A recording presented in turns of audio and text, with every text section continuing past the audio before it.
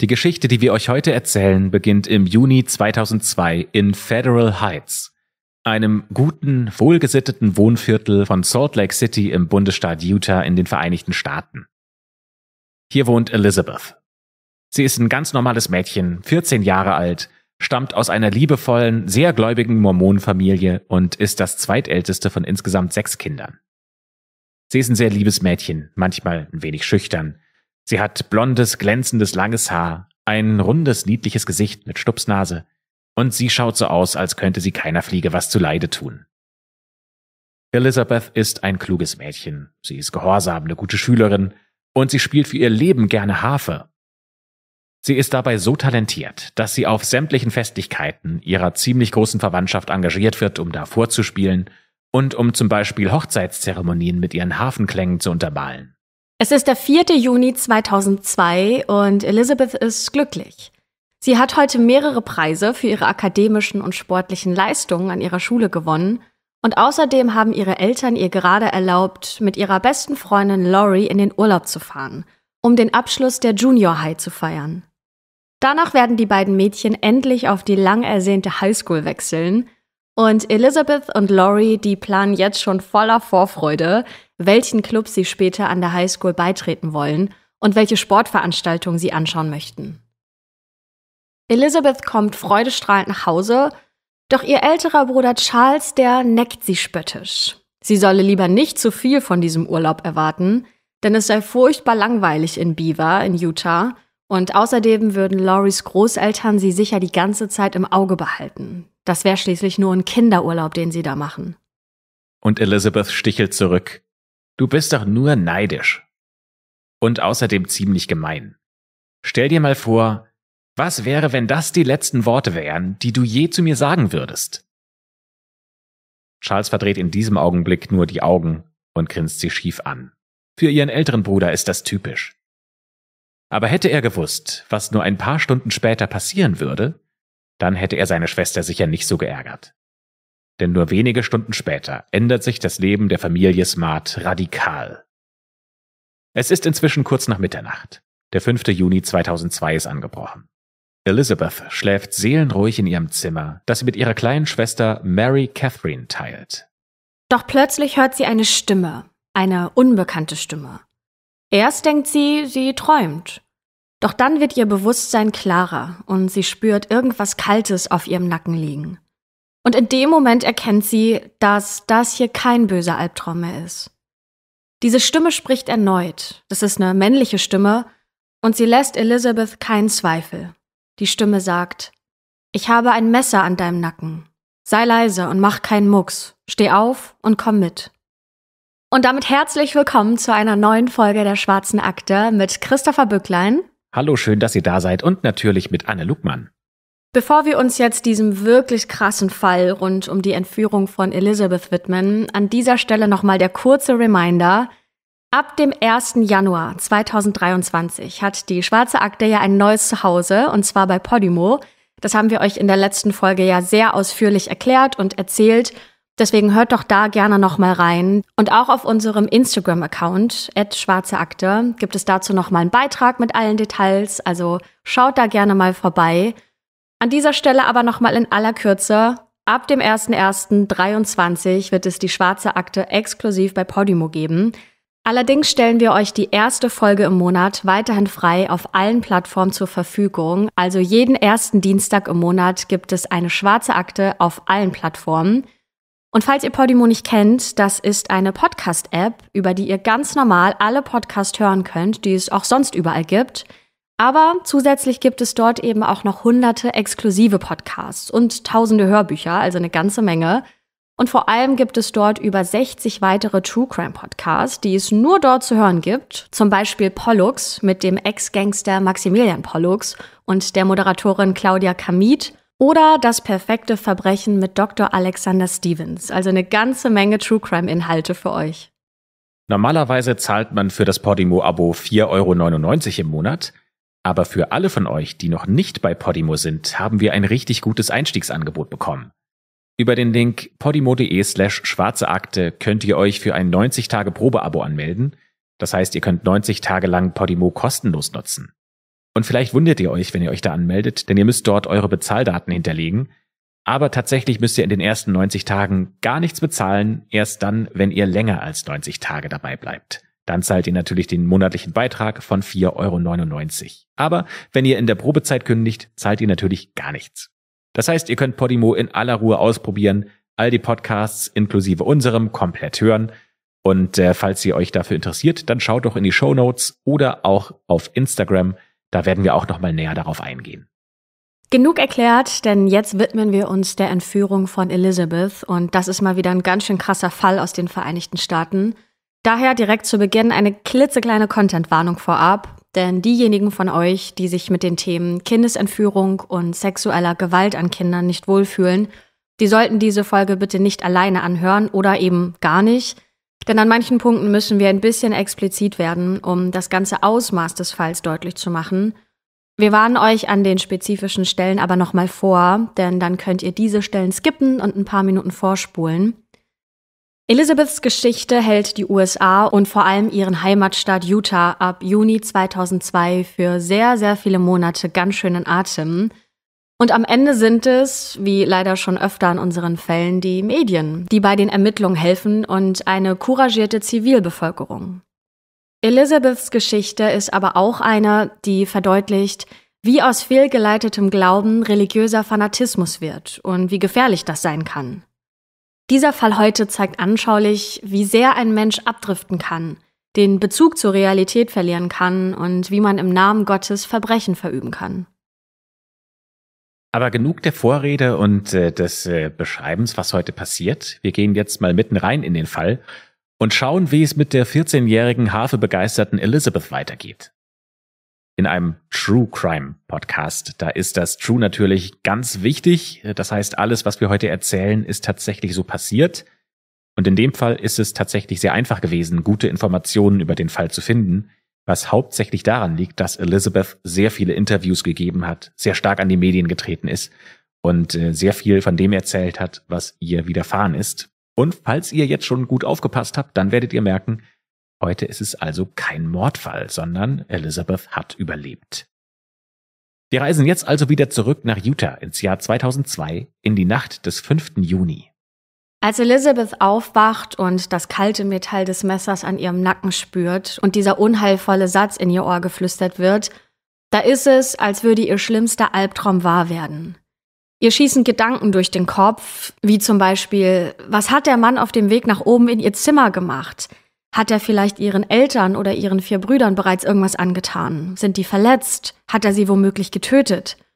Elizabeth hat schreckliche Angst natürlich in diesem Moment, Todesangst, und ihre kleine Schwester Mary Catherine neben ihr ist offenbar noch am Leben. Also entscheidet sich die 14-jährige Elizabeth geistesgegenwärtig, muss man ja schon sagen, alles dafür zu tun, dass wenigstens das so bleibt. Was bleibt ja auch anderes übrig? Denn wenn sie jetzt groß um Hilfe schreit, dann ist sie sicher, dass er sie alle, die ganze Familie umbringen wird. Sie denkt, wenn ich jetzt nicht schreie, wenn ich mitgehe und tue, was er sagt, dann wird er wenigstens meine kleine Schwester in Ruhe lassen. Und so steht sie tatsächlich auf und folgt diesem fremden Mann, immer noch im Pyjama. Er führt sie durch die Hintertür und durch den Garten hinten vom Grundstück runter. Da gibt's keinen Zaun und auch keine Mauer, die die beiden aufhalten könnte. Federal Heights ist eine ruhige und sichere Nachbarschaft. Niemand hat hier jemals über Sicherheitsvorkehrungen nachgedacht, geschweige denn über Überwachungskameras. Das, was die Kinder in dieser Gegend an Sicherheitsvorkehrungen lernen, ist, wenn du eine Straße überquerst, dann musst du nach links und rechts schauen. Und wenn du aus irgendeinem Grund Feuer fängst, dann wirf dich auf den Boden und roll dich hin und her. Aber sowas wie eine Entführung und dann auch noch die eines Kindes aus dem eigenen Elternhaus, darauf ist hier ehrlicherweise niemand vorbereitet. Das Haus der Familie Smart ist am oberen Ende der Nachbarschaft. Danach kommt nur noch ein weiterer Straßenzug, bevor sich die Wohngegend in eine bergige Landschaft öffnet. Und genau auf diese Berge steuert der Entführer mit Elizabeth zu. Doch plötzlich drückt der Entführer das junge Mädchen Richtung Boden, hinter einen Busch. Sie versteht erst nicht, was da los ist, doch dann hört sie es und sieht es schließlich auch. Denn das Licht von zwei Scheinwerfern eines Autos kommt auf sie zu. Ganz langsam rollt es die Straße hinunter und Elizabeth ist sich sicher, dass es die Komplizen sein müssen, dass man sie jetzt gleich in ein Auto zerren und weit wegbringen wird. So weit weg, dass ihre Eltern sie niemals finden können. Doch dieses Auto hält gar nicht an. Denn langsam tuckert es an ihnen vorbei, ohne sie überhaupt zu bemerken. Elizabeth wagt dennoch einen Blick nach oben und erkennt im Dunkel der Nacht gerade noch die Aufschrift Polizei. Dann biegt dieses Auto, das Polizeiauto, aber um die Kurve und ist verschwunden. Und damit ist auch Elizabeths letzte Hoffnung verschwunden. Hätte sie sich doch nur irgendwie bemerkbar gemacht, aber da ist ja noch das Messer. Der Mann hat immer noch das Messer und ist außerdem stärker als sie, sehr viel stärker. Ihr Entführer treibt sie in Richtung Berge.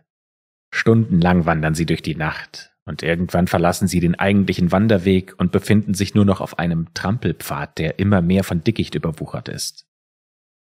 Der jungen Elizabeth kommen all die düsteren und schrecklichen Geschichten von anderen entführten Kindern in den Kopf, die sie aus dem Fernsehen kennt. Keines dieser Kinder hat die Entführungen überlebt. Die meisten wurden misshandelt und noch viel schlimmer, sie wurden angefasst. Und Elizabeth will gar nicht drüber nachdenken, was mit den Kindern noch gemacht wurde. Sie nimmt also all ihren Mut zusammen und fragt den Mann, was er mit ihr vorhat. Ob er sie umbringen will oder ob er sie, und in dem Moment spricht sie tatsächlich das aus, wovor sie so richtig Angst hat, ob er sie vergewaltigen will. Der Mann sagt, das werde ich nicht machen. Noch nicht. Für das Mädchen ist das natürlich der blanke Horror. Erst bettelt sie diesen Mann an, sie gehen zu lassen, und dann bettelt sie ihn aber an, es hier zu tun, nicht so weit weg von zu Hause. Das Mädchen hofft, dass je näher sie noch an ihrem Zuhause ist, desto größer die Chancen sind, dass ihre Eltern sie wiederfinden, denn sie möchte unbedingt, dass sie sie wiederfinden. Wenn nicht lebendig, dann wenigstens tot. Elizabeth will, dass ihre Familie nicht in der Ungewissheit leben muss, dass sie nicht denken, sie wäre von zu Hause weggelaufen, denn sie sollen wissen, dass sie nicht freiwillig gegangen ist. Die beiden laufen weiter und teilweise müssen sie auf allen Vieren kriechen, weil der Pfad so zugewachsen ist, und irgendwann geht die Sonne auf und Elizabeth vermutet, dass sie schon längst über die Bergkuppe hinweg sein müssen. Hier wird sie niemand finden, denn sie sind in der völligen Einöde. Nach einer gefühlten Ewigkeit werden sie langsamer und kämpfen sich durch das Unterholz auf eine Lichtung. Elizabeth wird klar, dass sie angekommen sind. Der Boden wurde hier geebnet. Es steht ein Zelt auf dem Boden, weitere Planen hängen als eine Art Dach zwischen den Ästen. Aus dem Zelt kommt eine Frau und kommt direkt auf sie zu. Sie trägt ein langes, schlichtes Leinengewand, und diese Frau macht etwas, womit Elizabeth gar nicht gerechnet hat. Die umarmt sie. Einfach so. Aber im Gegensatz zu anderen Umarmungen von denen ihrer Eltern oder Geschwister fühlt sich diese Umarmung nicht gut an. Die fühlt sich nicht nach Sicherheit oder Geborgenheit an. Das ist mehr wie eine Warnung, die Elizabeth sagen soll, wenn du dich widersetzt, dann kriegst du die Konsequenzen zu spüren. Die Frau nimmt Elizabeth mit ins Zelt, zieht ihr die Schuhe aus und beginnt ihr die Füße zu waschen. Für Elizabeth ist das alles wahnsinnig unangenehm, weil die gar nicht weiß, was das alles soll, warum sie überhaupt hier ist. Und vor allem auch, was diese beiden Menschen von ihr wollen. Die Frau will Elizabeth als nächstes ihren Schlafanzug ausziehen, doch das junge Mädchen sträubt sich und hält die Arme eng umschlungen, denn noch nie hat eine fremde Frau sie angefasst und noch nie hat sie eine fremde Person nackt gesehen. Die Frau droht ihr und sagt, sie könne auch den Mann reinholen und der würde sie schon dazu bringen, den Pyjama auszuziehen. Aber Elizabeth fleht sie an und sagt, dass sie am Abend noch geduscht hat und sie würde sich schon alleine umziehen können. Die Frau gibt irgendwann nach und legt dem Mädchen ein Gewand hin, ebenso eins, wie sie das selbst trägt, und dann geht sie. Elizabeth weiß nicht, ob es nur Minuten sind oder sogar Stunden, denn sie steht total unter Schock, sie ist wie eingefroren, und irgendwann tritt der Mann zu ihr ins Zelt und beginnt auf sie einzureden. Doch seine Worte dringen überhaupt nicht durch zu diesem verängstigten Mädchen, und er sieht jetzt auch ganz anders aus. Auch er trägt ein Gewand, und sie sieht seinen langen grauen Bart und seine langen ungepflegten Haare. Neben all der Panik in ihr und der Schockstarre, gegen die ihr Körper ankämpft, versucht Elizabeth sich auf seine Worte zu fokussieren, denn vielleicht erfährt sie dann ja, was dieser Mann und diese Frau mit ihr vorhaben. Und dann hört sie, wie der Mann folgende Worte sagt. Worte, die die nächsten Monate als die schlimmsten ihres Lebens besiegeln werden. Er sagt, Hiermit binde ich dich an mich, als meine Ehefrau. Gott und all seine Engel sollen meine Zeugen sein. Und Elizabeth, die rastet innerlich aus. In ihr sträubt sich alles, denn alles daran ist falsch. Das weiß Elizabeth ganz genau. Sie weiß doch, dass sie noch ein Kind ist, gerade mal 14 Jahre alt. Außerdem kommt sie aus einer frommen mormonischen Familie und sie weiß, dass sowas nicht passieren darf. Elizabeth schreit. Sie schreit Nein und sie schreit so laut sie kann. Sie versucht all die Gründe aufzuzählen, warum das, was hier gerade passiert, nicht in Ordnung ist. Aber der Mann schaut sie nur mit seinen blauen Augen an und einem, wie Elizabeth findet, irren Blick und sagt, wenn du noch mal so schreist, dann bringe ich dich um. Und wenn es hilft, dass du nicht schreist, dann kann ich dir auch gerne den Mund zukleben. Willst du das? So erinnert sich Elizabeth später an diese Szene. Und dieser Wortlaut, so wie wir es gerade vorgelesen haben, das hat sich in ihr Gehirn eingebrannt. Elizabeth verstummt sofort, denn sie will nicht sterben. Unter gar keinen Umständen will sie hier sterben. Und sie entscheidet, alles zu tun, was in ihrer Macht steht, um das zu verhindern. Alles. Doch dann sagt der Mann einen zweiten Satz, einen verhängnisvollen Satz, der ihr Leid noch verstärken wird. Er sagt, Vor Gott sind wir nun verheiratet, und es ist an der Zeit, unsere Ehe zu vollziehen. Wir wechseln jetzt die Perspektive und schauen uns an, wie die Familie von Elizabeth das erlebt hat. Für ihre Eltern Ed und Lois und die restlichen Kinder, die Brüder Charles, Edward, Andrew und William und die kleine Schwester Mary Catherine, da ändert sich das Leben in der Nacht dieses 5. Juni ebenfalls radikal. Die erst neunjährige Mary Catherine, die erlebt den Schock ihres Lebens. Denn sie ist ja die einzige Zeugin des Verbrechens, und sie liegt mitten in der Nacht wie versteinert in ihrem Bett. Sie hat alles mitbekommen, aber aus lauter Angst hat sie sich nicht geregt und hat so getan, als ob sie schläft. Aber sie war clever, denn sie hat gedacht, sie versucht jetzt so viel wie möglich mitzukriegen, in der Hoffnung, dass die Informationen, die sie hat, dann zur Rettung ihrer Schwester beitragen können. Die Familie hat übrigens auch in den folgenden Monaten und Jahren viele Interviews gegeben, und deswegen wissen wir auch sehr genau, wie sie sich gefühlt haben und wie sie das erlebt haben, was Elizabeth passiert ist. Im Dunkel des Zimmers vermutet sie, dass er ihrer Schwester eine Pistole an die Kehle hält und er flüstert ihr zu, sei leise, dann tue ich dir nicht weh. Irgendwie kommt der kleinen Mary Catherine die Stimme dieses Mannes bekannt vor, doch vor lauter Panik und Schockstarre verfolgt ihr Gehirn diese Info nicht weiter. Vermutlich liegt das kleine Mädchen noch ungefähr zwei Stunden wie festgefroren in ihrem Bett, bis sie sich gegen vier Uhr nachts traut, zu ihren Eltern ins Schlafzimmer zu gehen und denen alles zu erzählen. Erst glauben die Eltern, ihre Jüngste hätte bloß schlecht geträumt, doch dann erfasst auch sie die schreckliche Erkenntnis. Von Elizabeth ist weit und breit keine Spur. Eines der Fenster wurde mit einem Glasschneider bearbeitet und so hat der Entführer sich Einlass ins Haus verschafft. Ed und Lois erstatten sofort Anzeige und eine Vermisstenmeldung bei der Polizei. Nur einen Tag später, am 6. Juni, treten Elizabeths besorgte Eltern im Fernsehen auf und senden eine eindringliche Nachricht an den Entführer, in der sie bitten, ihre Tochter zurückzubringen. Was die beiden nicht wissen können, ist, dass der Entführer zu diesem Zeitpunkt mit ihrer Tochter längst über alle Berge ist. Und zwar im wahrsten Sinne des Wortes. Und was sie nicht ahnen können, ist, dass der Entführer nie irgendwas von diesem Aufruf mitbekommt. Denn in dem Camp, in dem Elizabeth festgehalten wird, da gibt es keinen Fernseher und auch kein Radio. Natürlich untersucht die Polizei erstmal das Haus der Familie, so gründlich wie möglich. Aber sie finden weder brauchbare DNA-Spuren noch Fingerabdrücke. Und auch die Spürhunde, die erschnüffeln keine heiße Spur.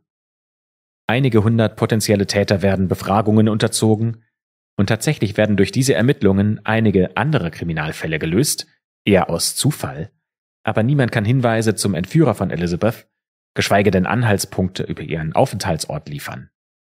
Zur gleichen Zeit bleibt auch die Zivilbevölkerung in Salt Lake City nicht untätig, denn in der ganzen Region werden groß angelegte Suchaktionen durchgeführt.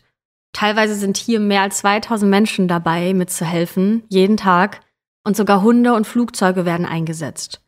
Doch leider fehlt von Elizabeth weiterhin jede Spur. Es scheint fast so, als sei das kleine Mädchen wie vom Erdboden verschluckt.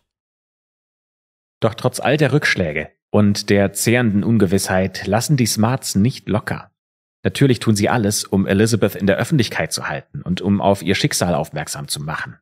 Denn wenn Elizabeth noch lebt, dann kann ihnen jetzt nur noch ein glücklicher Zufall helfen. Vielleicht gibt es einen Passanten, der sie wiedererkannt hat, eine Ärztin, die sie vielleicht irgendwann mal behandelt, vielleicht gibt es da irgendjemanden, der weiterhilft.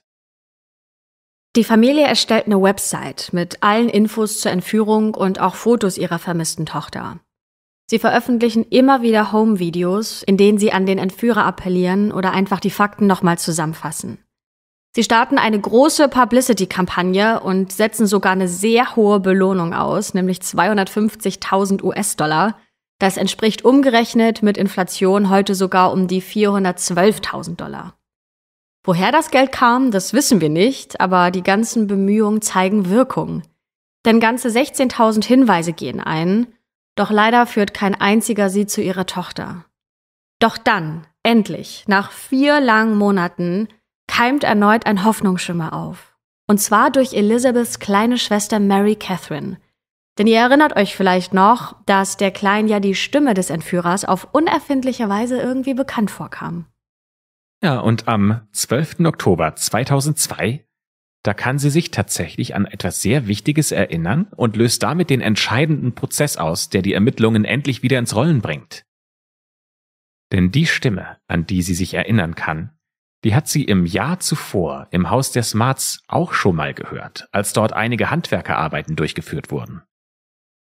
Im November 2001 hat Lois Smart einem bettelnden Mann auf der Straße in Salt Lake City 5 Dollar gegeben und ihm im Anschluss angeheuert, um gemeinsam mit ihrem Mann Ed ein paar Handwerkerarbeiten an ihrem Dach zu verrichten.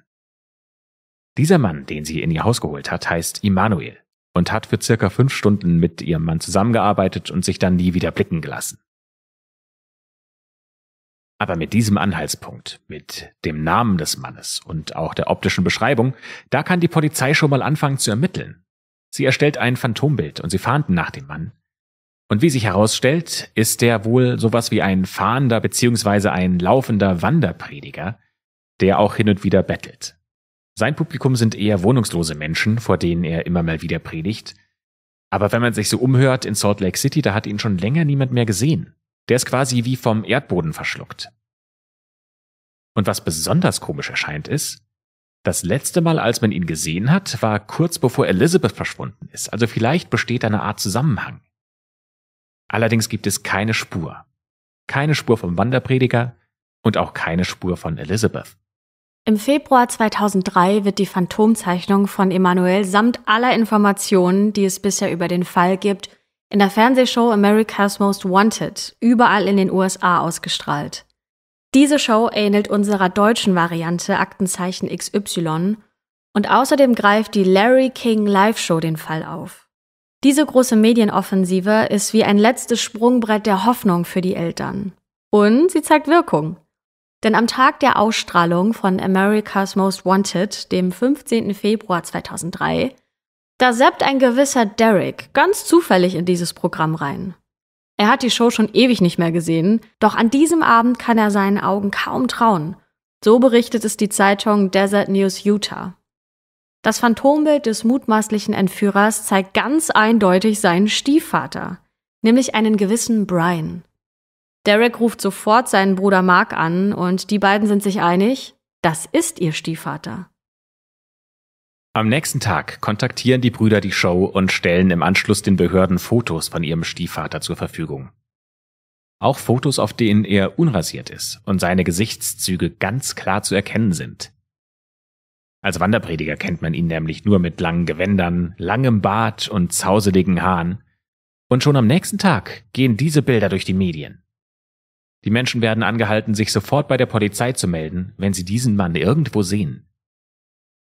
Und natürlich werden jetzt auch die beiden Brüder Derek und Mark befragt, ob sie sich erklären können, warum ihr Vater so eine Tat begehen sollte und ob sie eine Ahnung haben, wohin denn ihr Stiefvater mit Elizabeth verschwunden sein könnte. Viel können die Brüder leider nicht berichten, aber immerhin nennen sie ein paar Anhaltspunkte. Mark und Derek lernen Brian kennen, als sie noch Teenager sind, und gegenüber der Zeitung Desert News geben die beiden an, dass sie ihn nicht wirklich mochten, aber ihre Mutter ihn geliebt habe. Also geben sie sich auch Mühe. Aber sie hatten jetzt nicht unbedingt viel miteinander zu tun. Sie erinnern sich, dass Brian und ihre Mutter Wanda zunächst eine recht normale Beziehung geführt hätten, doch irgendwann habe sich schleichend etwas verändert. Beide sind Anhänger der LDS-Kirche, also The Church of Jesus Christ of Latter-day Saints oder zu Deutsch Kirche Jesu Christi der Heiligen der letzten Tage. Diese Konfessionsgruppe zählt zu den Mormonen und ist in den USA die drittgrößte christliche Glaubensgemeinschaft. Auch die Smarts gehören dieser Konfession an, sowie die Mehrheit der Bevölkerung in Utah. Scheinbar sind Brian und seine Frau Wanda aber irgendwann vom rechten Weg dieser Kirche abgekommen und auf eigene Faust als Wanderprediger losgezogen, doch dazu später noch mehr, aber merkt euch dieses Detail an dieser Stelle schon mal. Die Stiefsöhne Derek und Mark geben an, dass sie ihren Stiefvater Brian das letzte Mal im April 2002 gesehen hätten, und zwar bei der Beerdigung ihres Großvaters. Aber da hätten sie nicht viel miteinander gesprochen, zumindest nicht so, wie man sich das vielleicht vorstellt.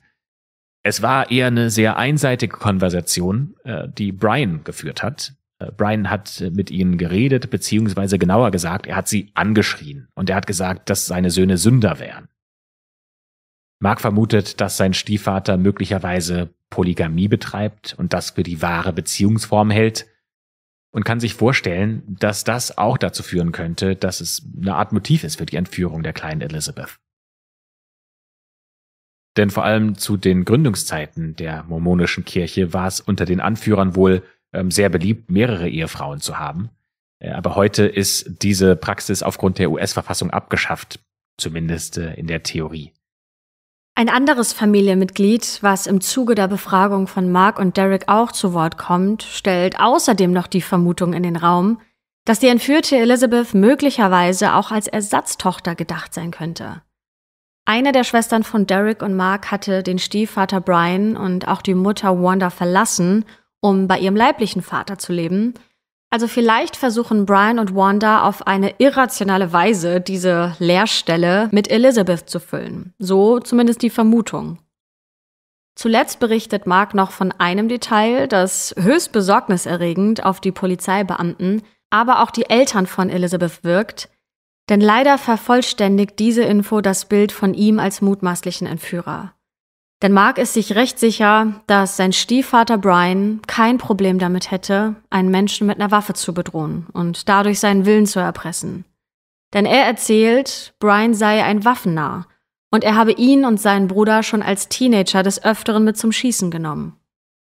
Ja, dieses Detail, das beruhigt jetzt nicht äh, besonders, sondern äh, im Gegenteil, das sorgt eher dafür, dass sich die Eltern noch viel, viel mehr Sorgen machen. Denn was ist das für ein Typ, der Elizabeth entführt hat? Nach allem, was wir bisher herausgefunden haben, klingt es so, als könnte Brian tatsächlich der Entführer sein und vor allem, dass er auch zu jeder Gewalttat bereit wäre. Aber, und das muss man auch sagen, Mord findet sich in seiner Historie noch nicht, also da gibt's doch noch irgendwie so diese Spur von Hoffnung. Aber lasst uns erstmal die Perspektive wechseln, ähm, denn wir gehen wieder zurück zu Elizabeth und äh, schauen uns an, was sie erlebt hat, beziehungsweise was sie dann in Interviews später erzählt hat, wie es ihr ergangen ist, während sie noch in den Händen von ja, diesem Mann war, der sie entführt hat.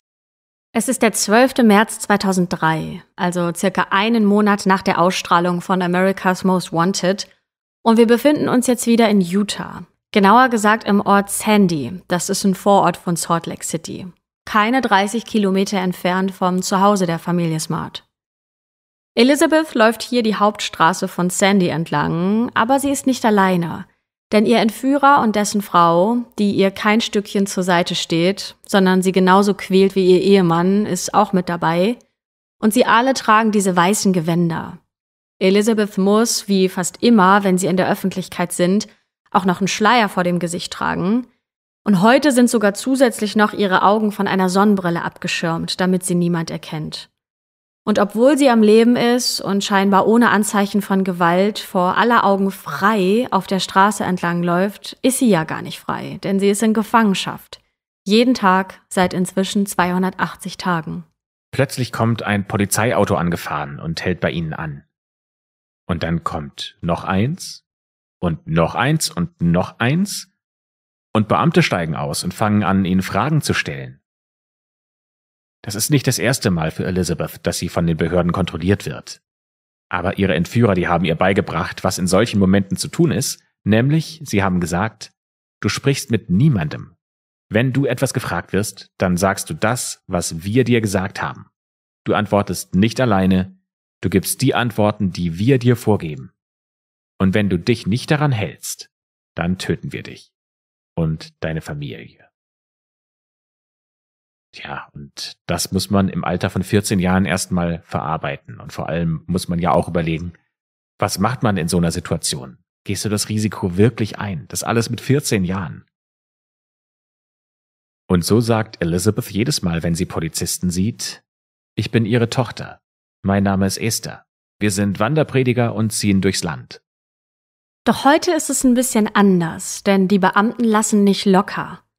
Einem der Beamten fällt auf, wie unsicher Elizabeth sich gibt. Deswegen schlägt er den Kollegen vor, sie außer Hörweite der beiden Erwachsenen zu befragen. Alles, was wir euch jetzt berichten, das haben wir wieder aus Interviews herausgefiltert, die Elizabeth selbst gegeben hat. Es ist also ihre Perspektive und ihre Auffassung der Geschehnisse.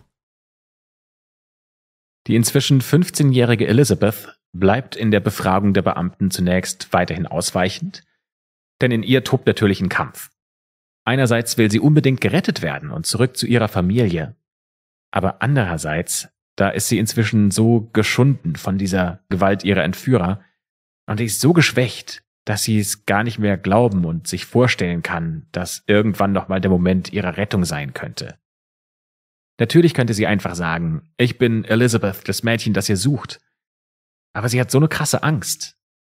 Denn was ist, wenn die Beamten ihr nicht glauben? Was ist, wenn die sie nicht retten und sie wieder ihren Entführern überlassen? dann hätten die das ja mitbekommen und würden sie bestrafen und vor allem ja nicht nur sie, sondern auch ihre ganze Familie. Und Elizabeths Gedanken, die werden immer dunkler. Sogar so weit, dass sie denkt, dass es eigentlich gar nicht so eine schlechte Alternative wäre, zu sterben und einfach diesem Martyrium zu entgehen. Und kann es dann überhaupt noch schlimmer werden, ist die Frage. Und die müssen wir leider beantworten mit Ja, kann es. Das haben ihr die letzten Monate gezeigt. Denn immer, wenn sie dachte, dass sie am Boden war und dass es nichts Furchtbareres mehr geben könnte, was man ihr antun kann, immer dann ist ihren Entführern noch was Grausameres eingefallen. Es ist also Selbstschutz. Lieber nichts zu sagen, dafür aber wenigstens weiter zu leben und vielleicht weniger zu leiden. All diese Gedanken kämpfen im Kopf des jungen Mädchens. Und wie soll sie da den Mut aufbringen, sich jetzt zu offenbaren? Irgendwann sagt derselbe Polizist, der schon bemerkt hatte, wie unwohl sie sich fühlt, mit einfühlsamer und ruhiger Stimme folgende Worte. Er sagt zu ihr, Es gibt da dieses Mädchen, das ist schon eine ganze Weile verschwunden, aber ihre Eltern vermissen sie so sehr und sie haben nie aufgehört, nach ihr zu suchen. Sie haben niemals die Hoffnung aufgegeben. Sie haben niemals aufgehört, sie zu lieben. Und dann wechselt er die Ansprache und fragt Elizabeth ganz direkt, Möchtest du nicht mit nach Hause kommen? Bist du Elizabeth Smart? Und endlich kann Elizabeth den Mut aufbringen und sagt mit ja auch einem Rest Vorsicht, ja, wenn Sie das sagen. Sie hat sich also in dem Moment zu erkennen gegeben. Wir können uns ehrlicherweise nicht mal annähernd vorstellen, was in dem Moment in dem Kopf dieses Kindes, ja der Teenagerin vorging. Und das, was dann passiert, das fordert den letzten Rest an Mut. Sie wird nämlich zu einem der Polizeiautos geführt. Ihr werden Handschellen angelegt. Und sie wird, wie andere Verbrecher in Filmen auch, auf die Rückbank des Wagens verfrachtet und zur Wache gefahren.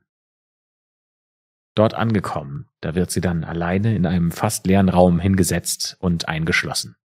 Und auch hier geben wir nur paraphrasiert ihre Gedankengänge aus einem Interview wieder, und es ist wirklich erschreckend, wie sehr die Gefangenschaft dieses junge Mädchen verändert hat, dass sie die folgenden Gedanken überhaupt erst denken kann.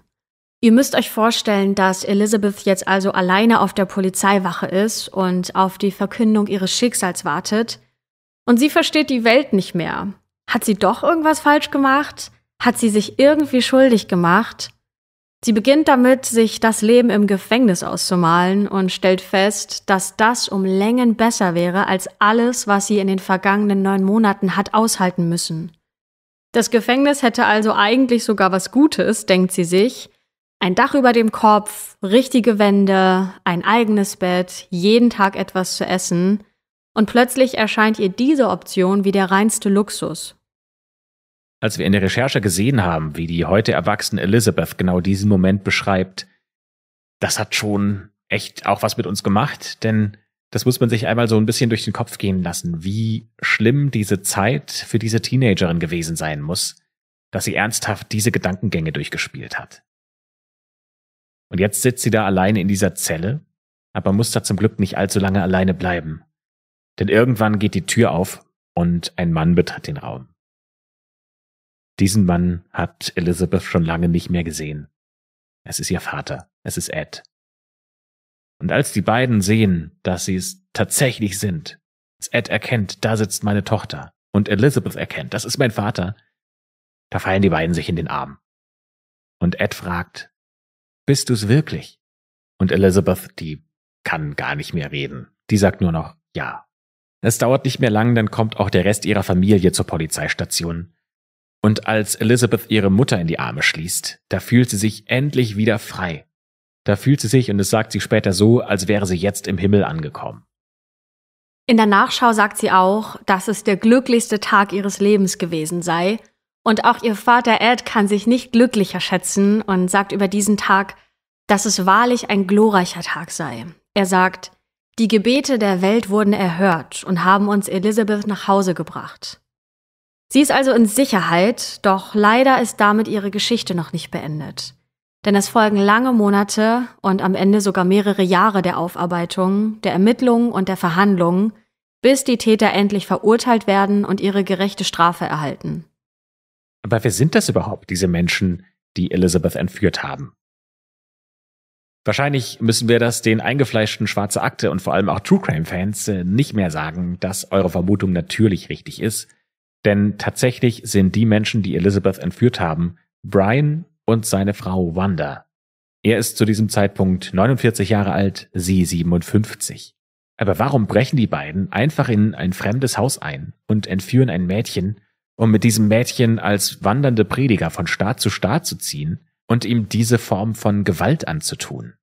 Die folgenden Infos haben wir unter anderem in einem Artikel von einem beteiligten Privatdetektiv gefunden, der die Informationen 2017 nochmal geupdatet hat. Brian wird im Oktober 1953 in Salt Lake City geboren und auch er wächst, ähnlich wie Elizabeth, in einer mormonischen Familie mit fünf weiteren Geschwistern auf. Seine Mutter ist Lehrerin und sein Vater ein Sozialarbeiter. Nachbarn beschreiben die Familie als ein bisschen merkwürdig, aber durchaus vernünftige und anständige Menschen. Der Vater wendet allerdings sehr fragwürdige Methoden der Erziehung seiner Kinder an.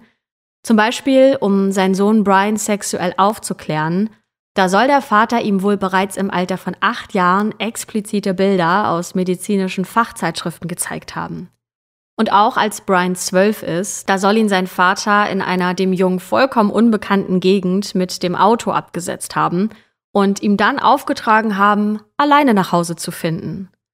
Brian habe dadurch Selbstständigkeit lernen und Mut beweisen sollen, so berichtet das der Privatdetektiv in seiner Abhandlung über das Täterprofil von Brian. Später in seinen Teenagerjahren wird Brian aufmüpfig und streitet viel mit seinen Eltern. Und er wird straffällig. Mit 16 Jahren exhibitioniert er sich vor einem Kind und kommt dafür zunächst in die Jugendstrafanstalt. Wie lange, das konnten wir nicht rausfinden. Allerdings kann das nicht allzu lange gewesen sein, denn nach wiederholten Streitigkeiten mit seinen Eltern haben die ihn zu seiner Großmutter geschickt, damit er bei ihr lebt. Die ältere Dame, die kann ihren Enkel auch nicht in die Schranken weisen. Ja, und kurz nachdem er bei ihr eingezogen ist, bricht dann Brian die Schule ab und schlittert in eine gefährlich regelmäßige Nutzung von Alkohol und Drogen. Im Alter von 19 Jahren heiratet Brian zum ersten Mal und bekommt mit seiner erst 16-jährigen Braut zwei Kinder. Allerdings zerbricht diese Ehe.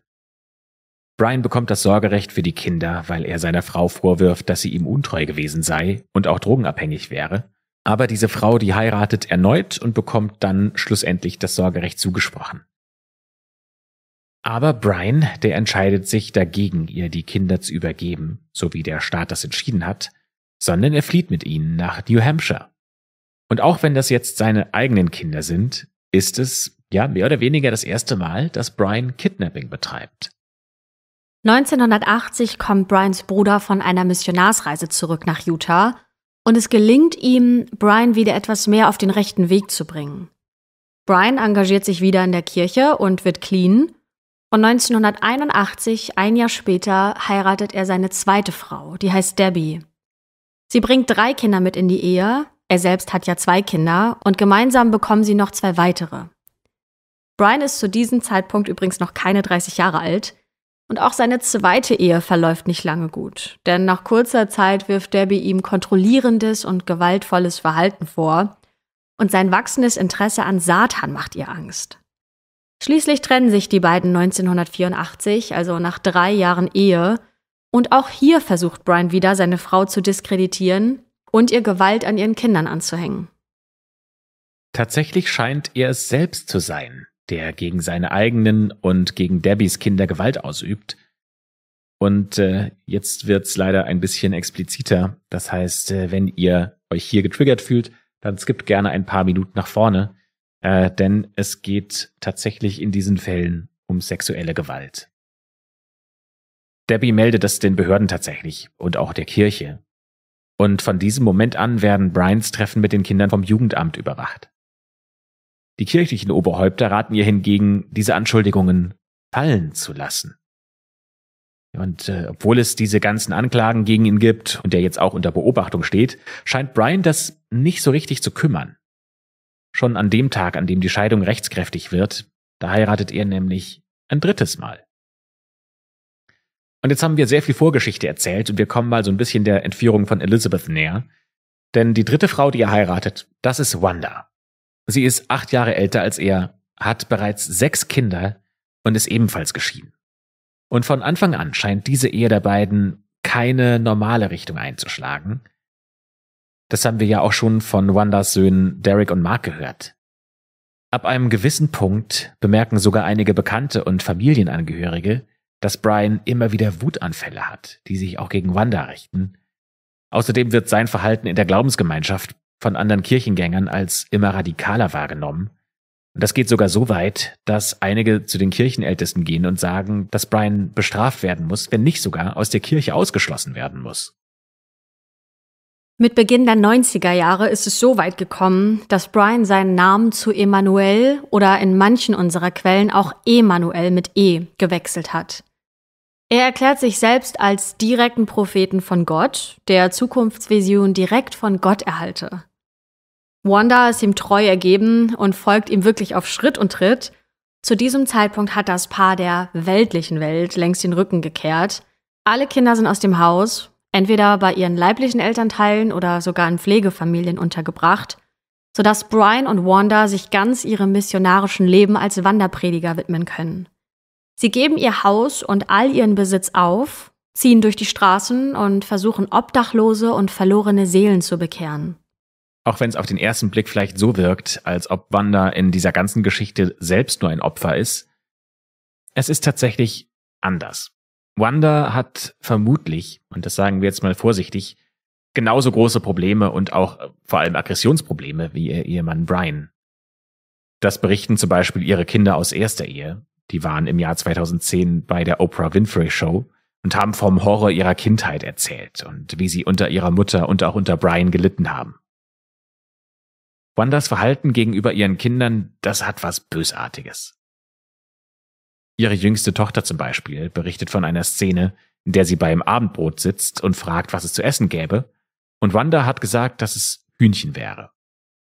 Ja, und Wanda und Brian, die stochern nur so in ihrem Essen rum und grinsen merkwürdig, so erinnert sich die Tochter, bis sie am nächsten Morgen ihr Kaninchen Peaches füttern möchte und feststellt, dass das nicht mehr in seinem Käfig ist. Sie geht zu ihrer Mutter und fragt, wo ihr Kaninchen wäre, das sie über alles liebt. Und ihre Mutter sagt, Dein Kaninchen, das hast du gestern zu Abend gegessen.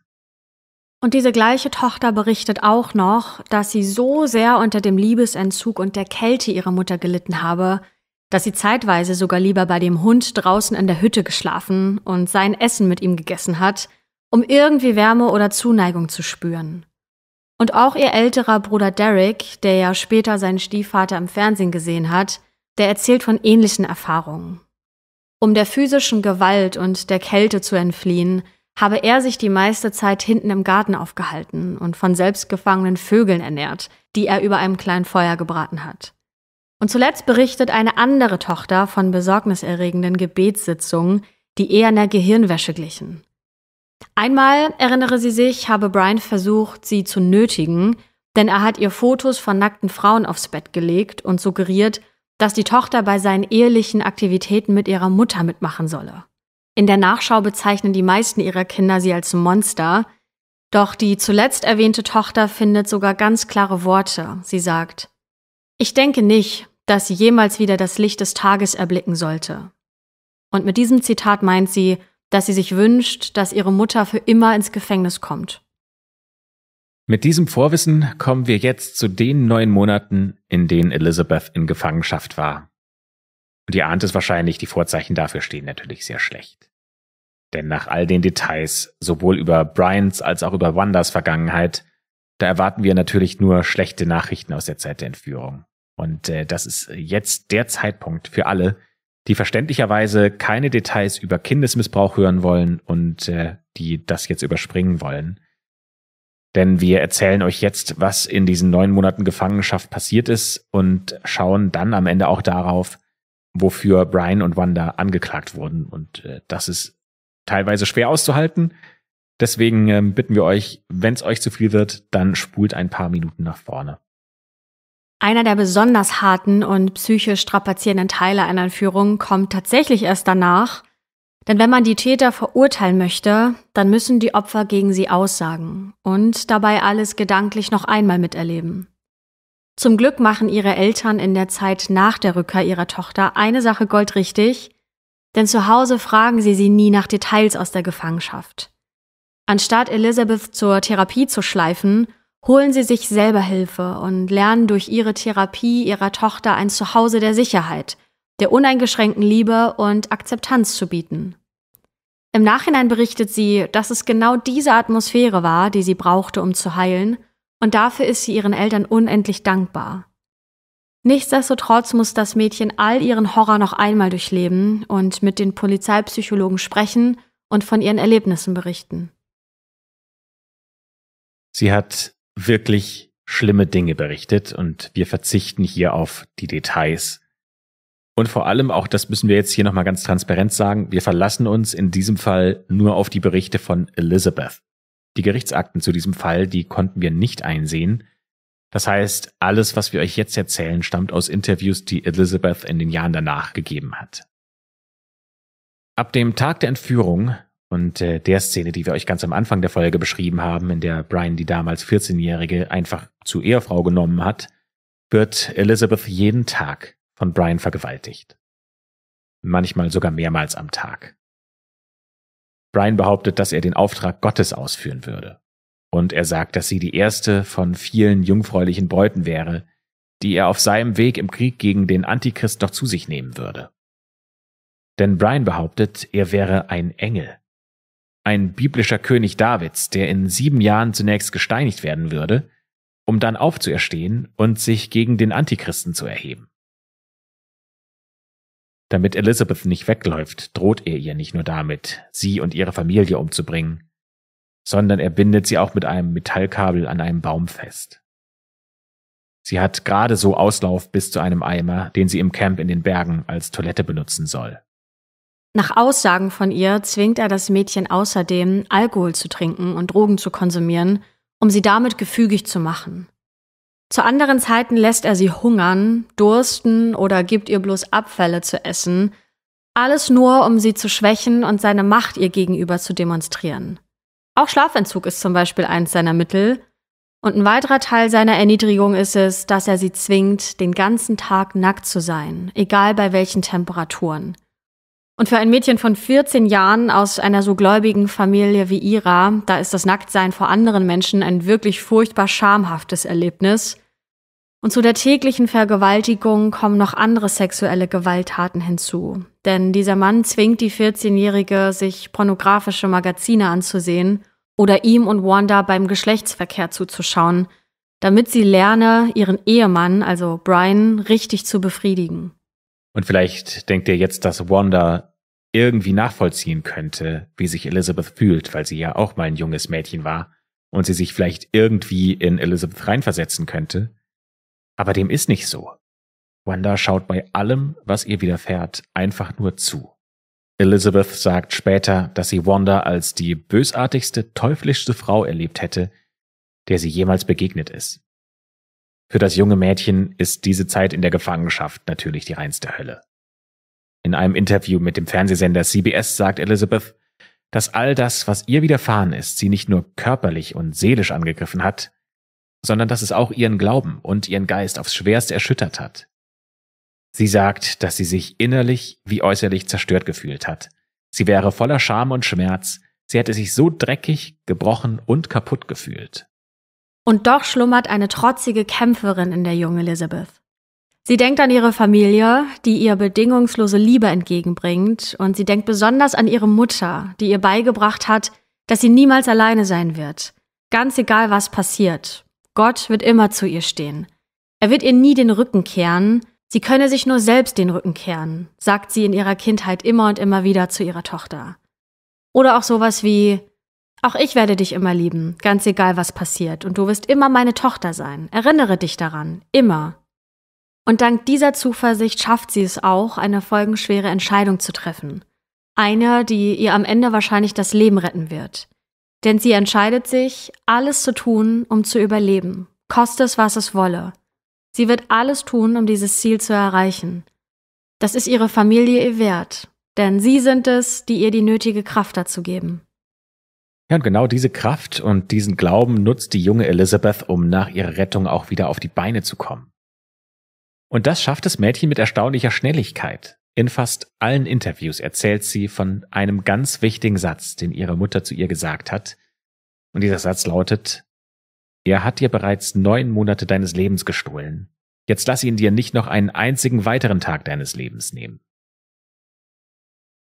Am 18. März 2003 also eine Woche nachdem Elizabeth lebend und den Umständen entsprechend wohlauf gefunden wurde, werden Brian und seine Frau Wanda angeklagt.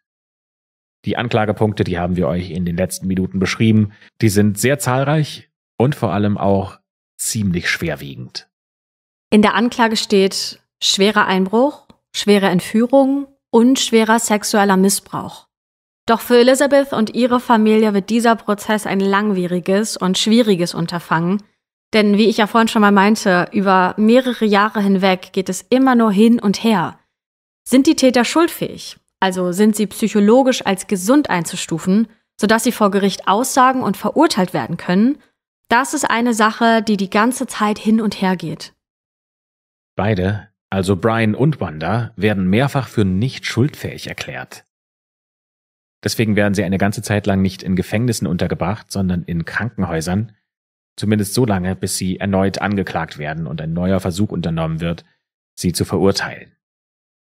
Bei einer dieser Anhörungen explodiert Brian regelrecht und er schreit konstant durch die Gegend und es ist ziemlich wirres Zeug. Und bei einer anderen Gelegenheit singt er durchgängig Mormonenhymnen vor sich hin. Forensische Psychiater bescheinigen ihm eine dissoziale und narzisstische Persönlichkeitsstörung, die für eine lange Zeit verhindert, dass er psychisch als schuldfähig eingestuft wird. Das geht eine ganze Weile so hin und her. Und nach sieben langen Jahren, am 21. Mai 2010, gesteht Wanda tatsächlich, dass sie schuldig ist und sie wird verurteilt. Zu 15 Jahren Haft. Bei Brian dauert es länger, bis er verurteilt wird, allerdings nur ein Jahr. Er wird im Dezember 2010 schuldig gesprochen und sein Urteil lautet lebenslange Haft ohne Option auf Bewährung und das Ganze in einem Hochsicherheitsgefängnis. Insgesamt hat das Ringen um Gerechtigkeit für Elizabeth also ganze acht Jahre gedauert und inzwischen ist das Mädchen eine junge, erwachsene Frau. Sie ist mit einer unglaublichen, bewundernswerten Stärke aus ihrem Martyrium herausgegangen und nicht mal einen Monat, nachdem sie gerettet wurde, da tritt sie bereits das erste Mal vor die Medien. Das ist ein Auftakt nicht nur für eine starke Bewältigungsstrategie, denn Elizabeth macht es sich tatsächlich zur Lebensaufgabe, auch anderen Opfern von sexueller Gewalt zu helfen. Die Geschichte von Elizabeth, die ist überall, über Jahre hinweg. Da spricht sie in allen großen Fernsehshows und Sendern. Sie ist bei NBC, ABC, CBS, sie ist bei Oprah Winfrey, sie spricht an Schulen, in öffentlichen Bibliotheken und an namhaften Unis. Und sie spricht sogar mit dem damals amtierenden Präsidenten George W. Bush über die Wichtigkeit des Amber Alert Systems. Das ist ein Informationssystem, über das Vermisstenmeldungen von Kindern verbreitet werden. Bereits Ende Oktober 2003 bringt ihr Vater mit Hilfe einer Autorin ein Buch über die Geschichte seiner Tochter heraus und der erste Film über ihre Geschichte, der folgt einen Monat später. Elizabeth verfasst mit anderen Überlebenden ein Pamphlet, das sogar vor dem Justizministerium verlesen wird. Und auch sie selbst schreibt zwei Bücher. Ja, und sie setzt sich sehr dafür ein, dass anderen Frauen und anderen Menschen geholfen wird, die sexuelle Gewalt erfahren haben unter anderem mit ihrer selbst gegründeten Elizabeth Smart Foundation. Das ist äh, eine Stiftung, äh, für die sie selbst auch viel arbeitet. Und man könnte jetzt denken, wow, Elizabeth ist eine starke Frau geworden und ihr wird sowas nie wieder passieren. Niemand kann ihr jemals sowas anhaben. Aber tatsächlich kommt's leider anders und sie wird sowas nochmal durchmachen müssen. Ja, denn im Jahr 2020, also noch gar nicht so lange her, da erlebt sie leider erneut einen sexuellen Übergriff und zwar im Flugzeug. Dort ist sie kurz eingenickt und als sie wieder aufwacht, da bemerkt sie, dass ihr Sitznachbar, den sie nicht kennt, seine Hand zwischen ihren Beinen reibt und sie ist in dem Moment wie versteinert. Die kann gar nicht glauben, was hier passiert.